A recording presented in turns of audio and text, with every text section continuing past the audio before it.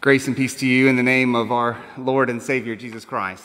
It is good that we might be gathered here together this afternoon as we celebrate the life of Ronald Davis Mullis. And also we celebrate and bear witness to the good hope we share in the resurrection of our Lord and Savior Jesus Christ. Hear then these words of Holy Scripture, first from the Psalms God is our refuge and strength, a very present help in trouble. Therefore, we will not fear, though the earth should change, though the mountains shake in the heart of the sea, though its waters roar and foam, though the mountains tremble with its tumult. And we hear the words of Jesus himself, who says, I am the resurrection and the life. Those who believe in me, even though they die, will live, and everyone who lives and believes in me will never die. Let us pray. O God who gave us birth, you are ever more ready to hear than we are to pray. You know our needs before we ask and our ignorance in asking. Show us now your grace, that as we face the mystery of death, we may see the light of eternity. Eternal God, we bless you for the great company of all those who've kept the faith, who finished their race, and who now rest from their labor. We praise you for those dear to us whom we name in our hearts before you. And especially this afternoon, we thank you for Ron Mullis, whom you have received into your presence. Help us to believe where we have not seen, trusting you to lead us through our years, and bring us at last with all your saints into the joy of your eternal home. Through Jesus Christ our Lord, we pray. Amen. Friends, as you are able, I do invite you to stand that together we might sing our first hymns. It's hymn 69, I, the Lord of Sea and Sky.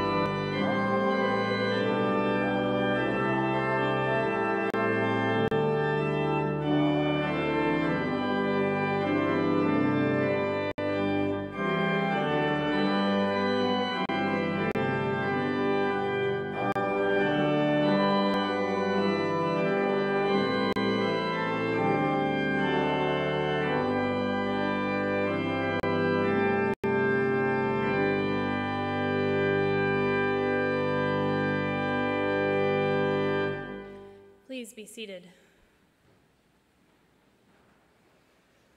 We continue to hear the words of Holy Scripture with these words from the Gospel of John, chapter 14. Peace I leave with you, my peace I give to you.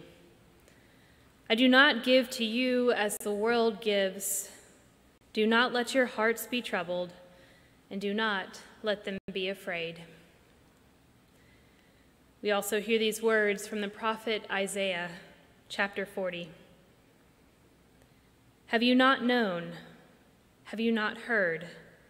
The Lord is the everlasting God, the creator of the ends of the earth. He does not faint or grow weary. His understanding is unsearchable. He gives power to the faint and strengthens the powerless. Even youths will faint and be weary, and the young will fall exhausted, but those who wait for the Lord shall renew their strength. They shall mount up with wings like eagles. They shall run and not be weary. They shall walk and not faint. Let us pray. Almighty God, in Jesus Christ, you promised many rooms within your house. Give us faith to see this day, beyond touch and sight, some sure sign of your kingdom. And where our vision might fail, trust in your love, which we know never fails. Lift our heavy sorrow and give us good hope in Christ, so that we may bravely walk our earthly way and look forward to glad reunion in the life to come. We ask all these things in the name of Jesus Christ. Amen.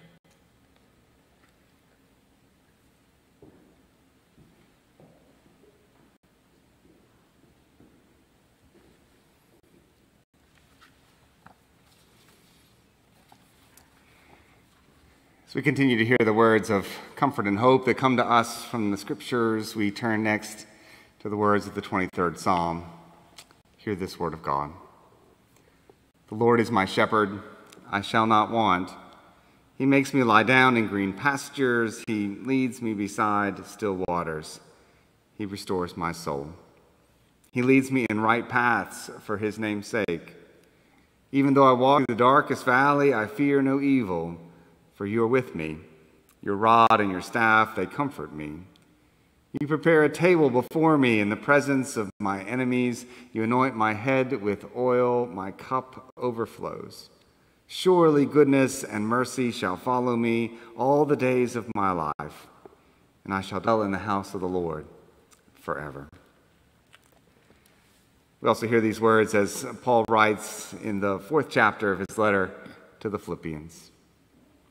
Finally, beloved, whatever is true, whatever is honorable, whatever is just, whatever is pure, whatever is pleasing, whatever is commendable, if there is any excellence, if there is anything worthy of praise, think about these things. Keep on doing the things that you have learned and received and heard and seen in me, and the God of peace will be with you. This is the word of the Lord. Thanks be to God. Let us pray. May the words of my mouth, meditations of all our hearts be acceptable in your sight, O Lord, for you are our rock and our Redeemer. Amen. At some point in the past, here at Unity Presbyterian Church, there was a session or a class which encouraged members to think about five key questions. And one of those questions had to do with your wishes for services at the time of your death. Brenda attended the class and she brought home one of the booklets for Ronnie, and Ronnie filled it out. He wanted to be sure that the 23rd Psalm was read today and that we sang the hymn, Here I Am, Lord. Those were certainly easy to include in the service today.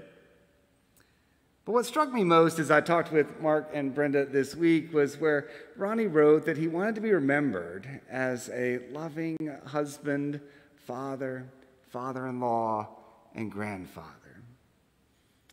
Yes, of all that he accomplished in his life, all that he was in his life, from being an identical twin to serving in the Air Force to working 41 years for Duke Power and Duke Energy, to his love of Sunday school here at Unity Presbyterian Church. Yes, all of that and much, much more. What Ronnie wanted to be remembered as was a loving husband, father, father in law, and grandfather. And that's the legacy that he leaves behind. It's a kind of life we can model our own lives on, perhaps in a way similar to what Paul shared in that letter to the Philippians. Finally, beloved, whatever is true, whatever is honorable, whatever is just, whatever is pure, whatever is pleasing, whatever is commendable, if there's anything excellent or anything worthy of praise, think about these things.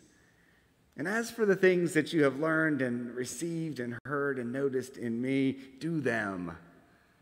And the God of peace will be with you. It seems to me that Ronnie lived that kind of life, was honorable and pleasing and commendable, particularly to be there, to be present in key moments. Mark told me that his dad could be a little gruff sometimes, but when the chips were down for anyone he loved, family or friends, Ronnie would be there. He didn't miss a tennis match while Mark was growing up. He showed Mark how to fix and maintain things. And then when Robin came along, he welcomed her as one of the family. And then Ty and Sammy, wow, he just loved being a grandfather and passing down this legacy to you as well. Yes, if Ronnie saw something good, he wanted to encourage it. He wanted to make it better and help it grow. I think that might have been what happened when his cousin introduced Ronnie to Brenda at a dance. It was like both of them immediately became better as the good that each of them had already was now shared in their love for each other. The result 46 years of marriage.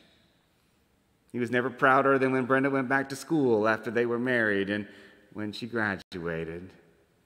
And I suspect they were never happier together when, than when Ronnie retired and said, Let's go to Rome. And off they went. The first of many happy trips and travels. Yes, Ronnie lived a life to be imitated. He learned that life from his own father, who he visited faithfully several times a week for lunch for years. He learned that life from Christ, the one who shared God's deep and abiding love with all of us so that we might be disciples of our crucified and yet risen Lord. And that's why we gather here today. Not only because we experienced and knew Ronnie's love, but because Christ himself has shown us the way to eternal life. And not just in the days to come, but here and now. It's a life that looks like the one described in the 23rd Psalm. It's a life where we're encouraged to rest in green pastures, to lie down beside still waters to follow these paths of righteousness. It's a life in which we do not fear even the darkest days because of the one who walks beside us. It's a life where we gather around overflowing tables with those that we love and those who are not yet friends.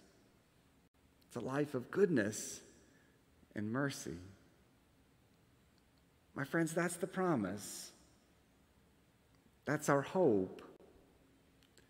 It's the promise and the hope that Ronnie knew and trusted, especially and even during the truly difficult and painful days of these last nine months.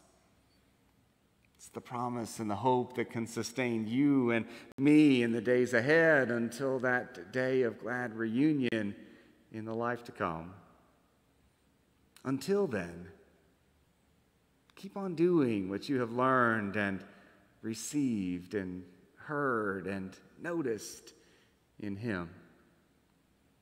And the God of peace will be with you. Thanks be to God. Let us pray.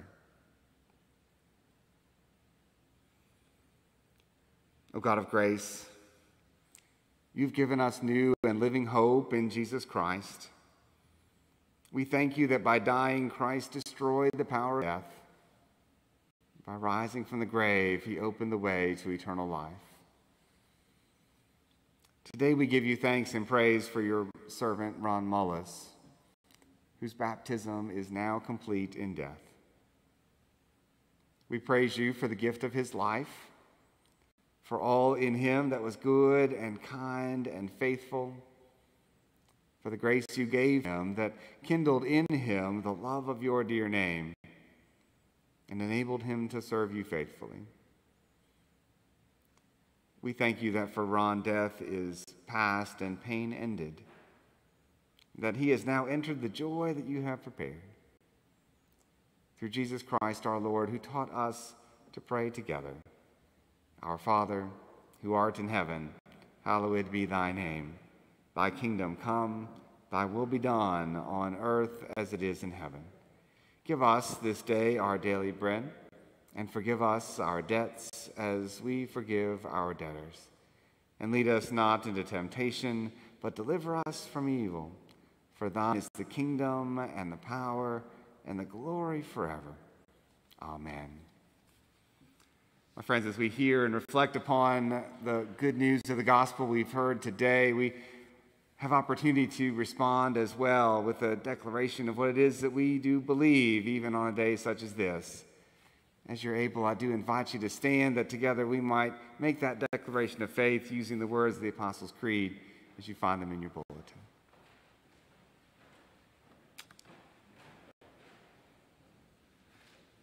I believe in God the Father Almighty, maker of heaven and earth, and in Jesus Christ, his only Son, our Lord, who was conceived by the Holy Ghost, born of the Virgin Mary, suffered under Pontius Pilate, was crucified, dead, and buried. He descended into hell. The third day he rose again from the dead. He ascended into heaven and sitteth on the right hand of God the Father Almighty. From thence he shall come to judge the quick and the dead. I believe in the Holy Ghost, the Holy Catholic Church, the communion of saints, the forgiveness of sins, the resurrection of the body, and the life everlasting. Amen. I invite you to remain standing and let us sing together hymn 664 Morning Has Broken.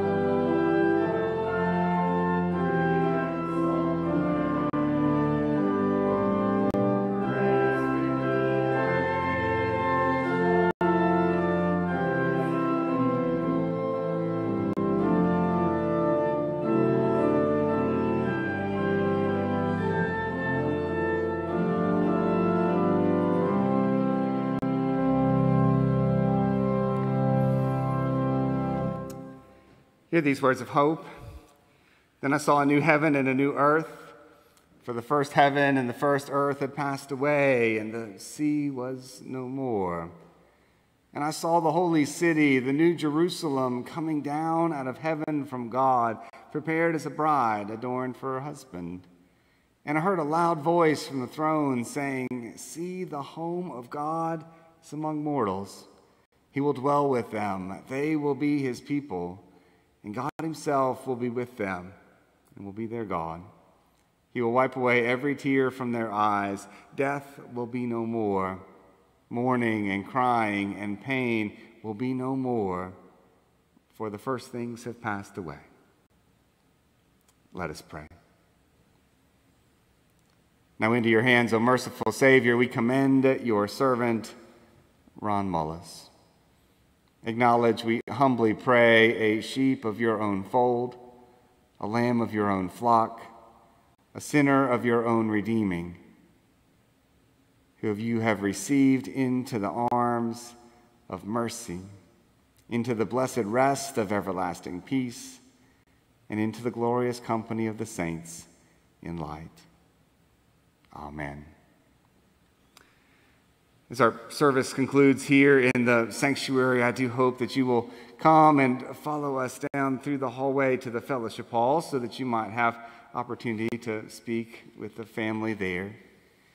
But as we go, may the God of peace, who brought back from the dead our Lord Jesus, make you complete in everything good so that you may do God's will, working among us that which is pleasing in God's sight. Through Jesus Christ, to whom be the glory forever and ever. Amen.